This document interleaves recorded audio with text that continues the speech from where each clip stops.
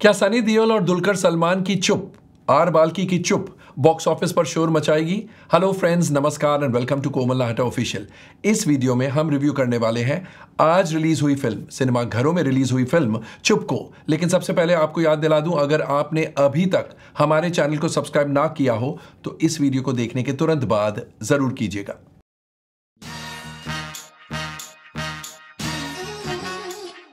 चुप एक psychological thriller है। यह कहानी है एक साइकोपैथ की। एक साइकोपैथ जो फ़िल्म क्रिटिक्स की हत्या करता है। एक के बाद एक फ़िल्म क्रिटिक की हत्या होती है और इन सब हत्याओं में, इन सब मर्डर्स में एक पैटर्न है। और इसलिए ऐसे लगता है कि ये एक साइकोपैथ किलर या सीरियल किलर का काम है। लेकिन फिर भी पुलिस कुछ भी नहीं कर पाती है। इस इन्वेस्टिगेशन में आगे नहीं बढ़ पाती है।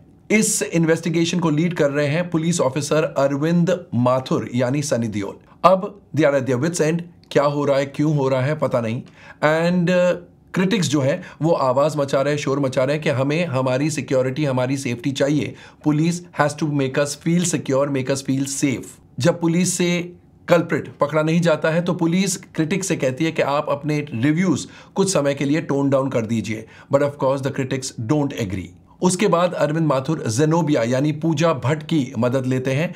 Zenobia is known to understand the psychology of psychopaths और जेनोबिया और अरविंद माथुर अब एक साथ काम करते हैं।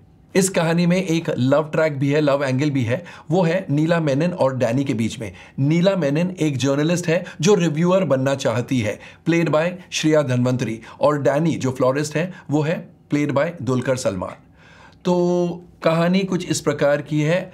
अल्टीमेटली क्या पुलिस उस सीरियल किलर उस साइकोपैथ किलर को पकड़ पाती है या नहीं पाती है?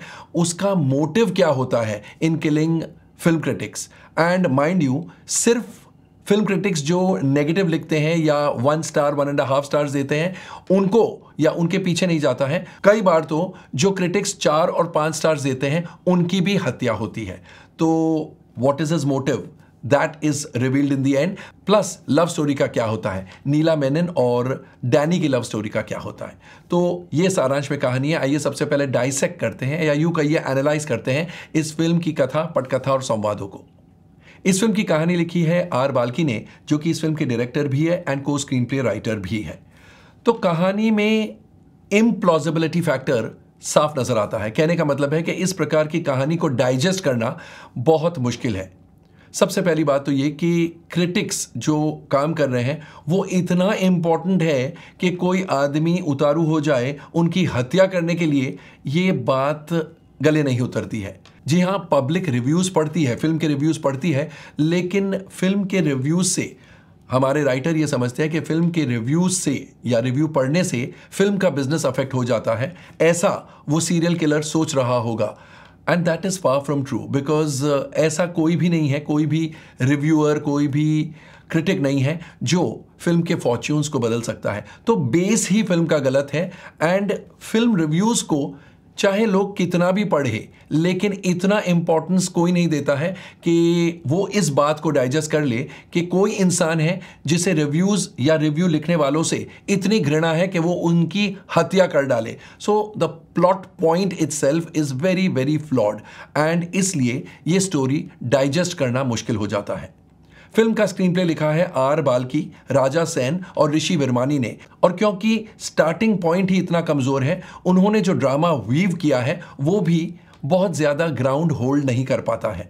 फ़र्स्ट हाफ़ तो बहुत स्लो एंड बोरिंग है। सेकेंड हाफ़ में ऑफकोर्स ड्रामा का पेस पिकअप होता है, लेकिन फिर भी क्योंकि वो ग्राउंड या वो पॉइंट जिस पर पूरी स्टोरी पूरा ड्रामा टिका हुआ है, वही इतना कमज़ोर है। इसलिए ऑडियंस को डाइजेस्ट नहीं हो पाता है स्क्रीन प्ले भी। इसके अलावा भी बहुत सी खामियाँ हैं स्क्रीन प्ले में। फॉर इंस्टेंस एक पॉइंट आता है जहाँ पर पुलिस क्रिटिक्स से रिक्वेस्ट करती है कि आप कुछ समय के लिए अपने रिव्यूज़ टोन डाउन कीजिए, क्योंकि एक के बाद एक फ़िल्म क्रिटिक की हत्या हो रही है। एंड क्रिटिक्स नाराज़ हो जाते हैं, वो कहते हैं how can we compromise with our reviews how can we compromise on our integrity and honesty लेकिन कुछ समय बाद ही वही क्रिटिक्स अनाउंस करते हैं कि जब तक हमारी सुरक्षा ना हो, तब तक हम फ़िल्म रिव्यूज़ ही नहीं लिखेंगे। तो ये बड़ा अटपटा लगता है। पहले जब पुलिस आपसे कहती है, आप कहते हैं, नहीं हो सकता है, और उसके बाद पुलिस ने जो कहा है, उससे कई आगे बढ़कर आप और भी खतरनाक स्टेप या एक्सट्रीम स्टेप लेने की बात करते हैं। So it is points like these which make the audience feel के स्टोरी एंड स्क्रीन प्ले में कन्विक्शन इतना कम है कि कुछ भी, कहीं भी डाल दिया गया है। स्क्रीन प्ले बहुत ज़्यादा क्लास अपीलिंग भी है। फॉर इंस्टेंस एक ट्रैक है जो हमें यह बताता है कि वो सीरियल किलर सिर्फ़ उन क्रिटिक्स के पीछे जाता है, उन क्रिटिक्स की हत्या करता है, जो अपने रिव्यूज़ में उसे एक स्टोरी देते हैं, जिसे वो उनके मर्डर में रेप्लिकेट कर सकता है। ये बात शायद आपको अभी नहीं समझ में आए, लेकिन जब आप फ़िल्म देखेंगे, आप समझेंगे मैं क्या बोल रहा हूँ। तो उस प्रकार की thinking of the serial killer बहुत ज़्यादा कंफ्यूजिंग और बहुत ज़्यादा क्लास अपीलिंग है। जो लव ट्रैक है डैनी और नीला मेनन का, उसमें भी वो वॉर्म या वो रोमांटिक फील नहीं आती है। So overall the screenplay is extremely weak and most importantly because it rest on a weak foundation film के डायलॉग्स भी इन तीनों राइटर्स ने लिखे हैं and most of the places dialogues ordinary है, कुछ जगह पर कमज़ोर भी है। ये तो ही बात स्क्रिप्ट की। अब एक नज़र डालेंगे एक्टर्स के परफॉर्मेंसेस पर। सनी दियोल ने अरविंद माथुर की भूमिका बड़े ही समझदारी से और बड़े ही कन्विक्शन के साथ सिंसेरिटी के साथ निभाई है।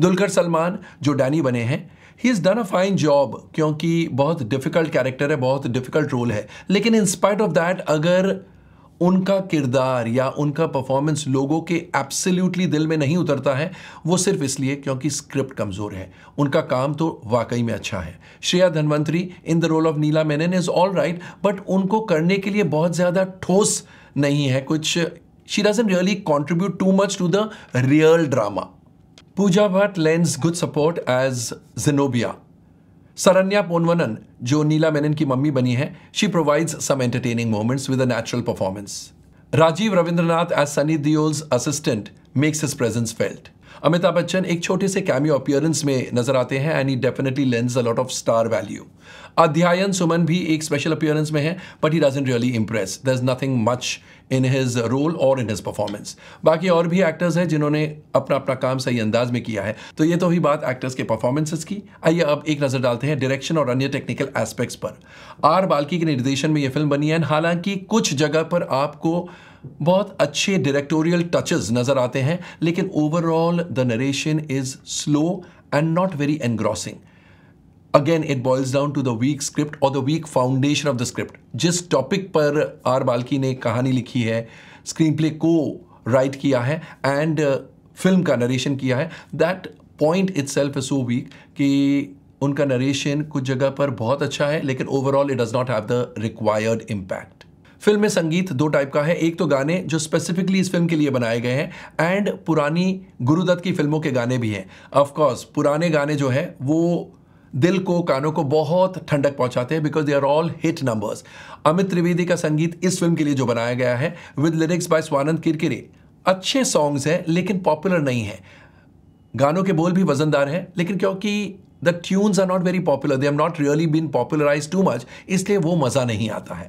फ़िल्म की बैकग्राउंड म्यूज़िक भी ठीक ठाक ही है cinematography by Vishal Sinha is good in fact very good और नयन भद्रा की एडिटिंग इससे ज़्यादा शार्प हो सकती थी तो all in all Chup box office पर कुछ खास शोर नहीं कर पाएगी इनफैक्ट ये बॉक्स ऑफ़िस पर नहीं चल पाएगी क्योंकि जिस मुद्दे पर यह फ़िल्म बनी है वो मुद्दा ऑडियंस को बहुत ज़्यादा इंटरेस्टिंग नहीं लगेगा अफकोर्स साथ में ये कहूँगा कि आज नेशनल सिनेमा डे मनाया जा रहा है जहाँ पर सारी फ़िल्मों की टिकट्स सेवेंटी फाइव रुपीज़ पर बिक रही है और इसलिए आज फुटफॉल सिनेमाघरों में अच्छे होंगे because the ticket rates are so low लेकिन, कल से ये भीड़ कम हो जाएगी।